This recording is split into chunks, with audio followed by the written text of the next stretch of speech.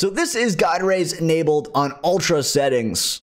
And this is what Fallout 4 looks like without God Rays whatsoever. In my personal opinion, it looks better for gameplay, and it sure as hell runs a lot smoother when I'm not getting 2 frames per second. Welcome home. Alright, what's going on guys? It's Apoqsi, and here in this video I'm going to be showing you guys how to disable God Rays in Fallout 4. And it's actually pretty simple. I'm going to be showing you how to do it the proper way, the way that's easier, but it's also the better way of going about it. So the first thing you want to do is go to your File Explorer and find My Documents or Documents, whatever it's called on your operating system, and go to My Games, and find Fallout 4. Just go ahead and open up the Fallout 4 custom.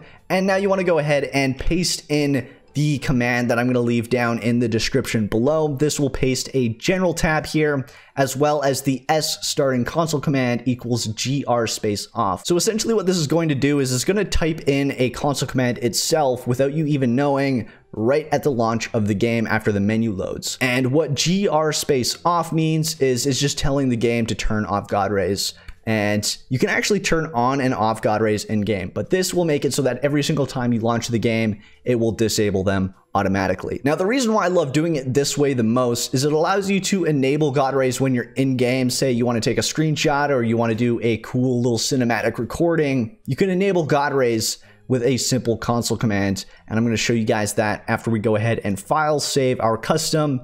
And now we can go ahead and close that off and launch our game. Now you'll actually know if the command worked if you get to the main menu and you open up the console and it should automatically show that it's already typed in a console command for you. So that lets you know that it's working perfectly. Now if we go ahead and load up our game and let's go to where we saw some God Rays and confirm. And when we load in, the God Rays should be disabled right off the bat. I'm also going to show you how to re-enable God Rays on the fly so that if you want to take a screenshot or you want to record a quick cinematic shot, you can do so. And then you can also disable it again within the console again. And every single time you launch the game, the God Rays will be disabled. So if you, for example, leave them on when you close the game and you relaunch the game, it will still disable them. So as you guys can see, the God Rays are disabled.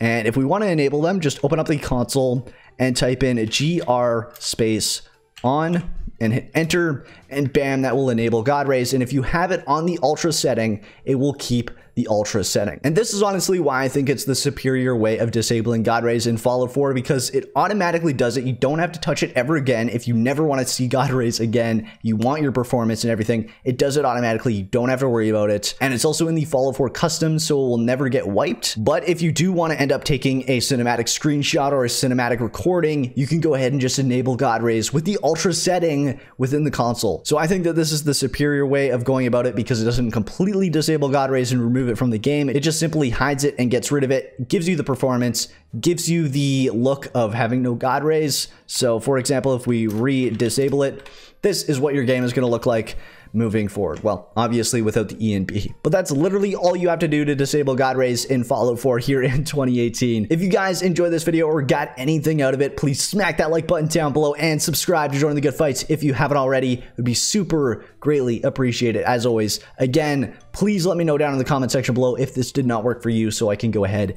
and assist you on disabling God Rays. But that's it for this video, and until next time, this is Apoqsi, signing off.